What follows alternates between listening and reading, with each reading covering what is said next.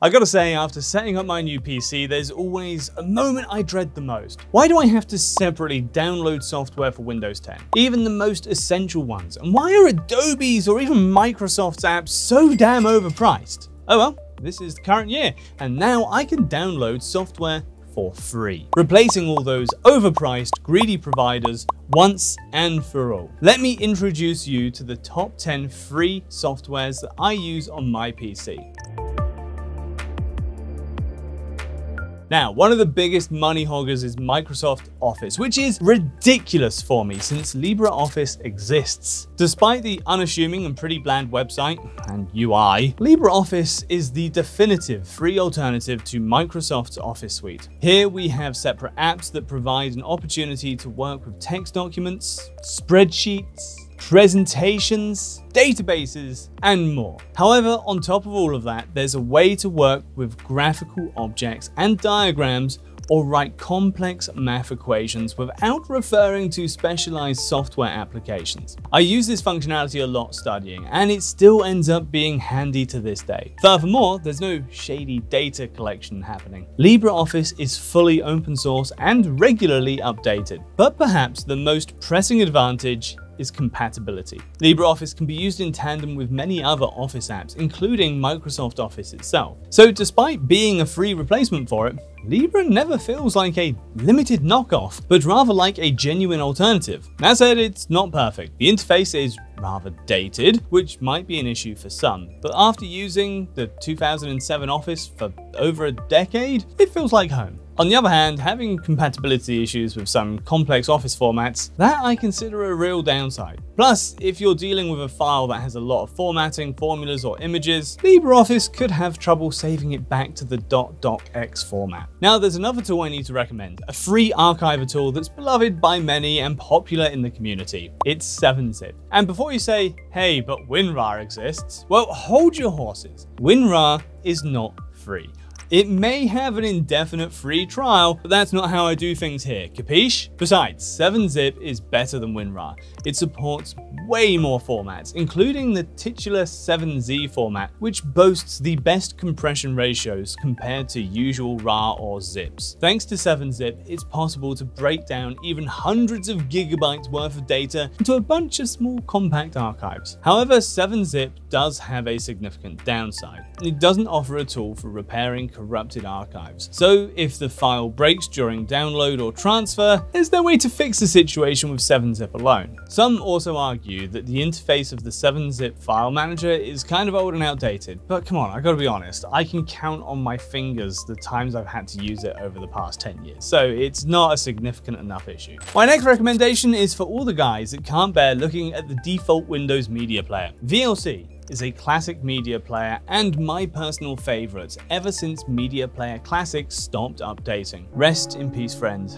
you were the best. In any case, why is VLC a great media player? First of all, it can read all the popular formats, from the usual MP4s to the less widespread AVI or MKV. If you're a fan of old movies, you must know that a lot of them come in those formats. VLC has built-in support for multiple voice tracks, subtitles, as well as mono or stereo settings. It runs well with music as well, though these days I think you are more likely to use Spotify instead. That said, VLC Media Player can be used to stream videos from the internet, making it much more progressive than it seems. Yeah, it's the third app in the row with a kind of outdated UI. Doesn't bother me though. But I heard folks complaining. I'd rather have them talk about various VLC plugins, compatibilities, and upgrades, specifically how hard it is to use those. This part definitely needs improvement. Moving on to an app that I've already mentioned in some of my shorts, DaVinci Resolve. This is the free alternative to some Adobe tools, since you know that company's decided to treat users like you and me like garbage. Well, I'm not one to sit down and take it. DaVinci is a professional video editing tool and a great replacement for Adobe Premiere Pro and Adobe After Effects, and it is an industry leader for color correction and color grading. So this is where DaVinci Resolve overcomes Adobe Resolve easily. That said, I do have to mention that DaVinci has a free version of the app, which might be great for beginners, but it misses most of the things that would make it a complete alternative for Adobe products. Well, at least the full version is a one-time purchase, unlike the Adobe predatory subscription service. Still, even if you are not getting the full functions for free, the integrated visual effects and audio post-production tools are included in the free version. The downside, I think, is that you need a pretty beefy setup to use DaVinci without performance issues, and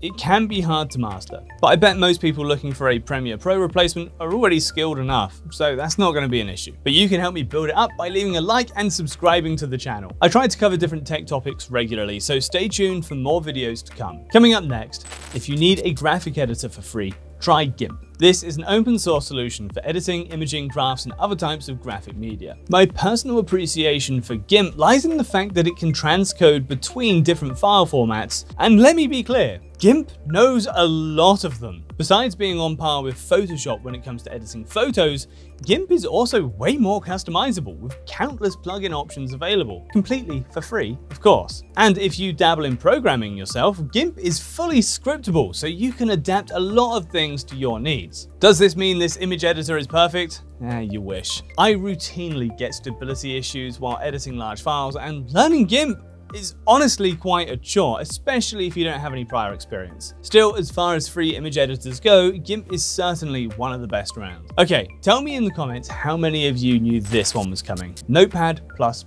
Not to be confused with the default Windows Notepad, this one is an open source text and source code editor. One of the most convenient parts here is that I can open multiple tabs and switch between them while working. No more multiple open windows to get annoyed over. This is an extremely lightweight app you can use to write your code without needlessly loading your PC. I, I admit I don't use it for programming too much, but it's a comfortable environment to just leave normal notes or keep track of tasks or just type stuff in if LibreOffice is just a bit too complicated for your tasks. That said, despite having a ton of available plugins, somehow Notepad++ has very limited collaboration features, which is a shame. A much bigger shame is that more people don't know about Wolfram Alpha. Now, this is less of an app and more of a service, even though I can get an app for mobile devices or PC, and it works perfectly well through my browser as well. But back to the topic. Wolfram Alpha is a practically all-knowing tool providing academic knowledge in many areas. It was super popular when I was studying, mostly to help students cheat on their homework assignments, but that just shows that Wolfram Alpha hosts comprehensive info on various topics. And honestly, it's faster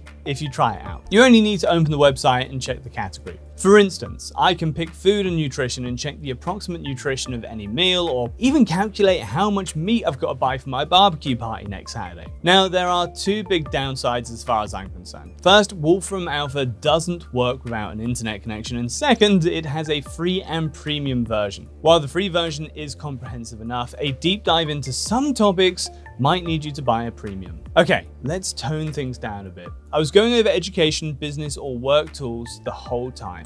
But Calibre is a bit different. This is a free ebook management tool, which I have used since the day I got my own e-reader. This app recognizes all the popular formats from EPUB to FB2 and can seamlessly convert one to another, depending on what format your e-reader prefers. I like Calibre for how easy it is to manage my extensive library with this tool alone, but this interface would easily appear overwhelming for a lot of new users. Plus, if you want to take advantage of certain advanced features, installing plugins is a must, and even I don't really like doing that. Okay, Back to business with a few apps I personally use all the time to guarantee my PC security stays safe enough. Bitdefender is an antivirus tool that does a great job replacing the pretty lackluster Windows Defender. It's well ranked by the independent researchers from AV Test and AV Comparatives, winning a bunch of awards through the years. In my experience though, Bitdefender is just a very convenient app that doesn't use up a lot of my PC's resources for scans, and always calls my downloads suspicious when I find another indie demo on itch.io. I won't go too in-depth here, but Bitdefender has a lot of nice features that make it worth using, yet a lot of them are locked behind a premium. While the Bitdefender antivirus free version is still leagues above Windows Defender, if you want a comprehensive antivirus solution,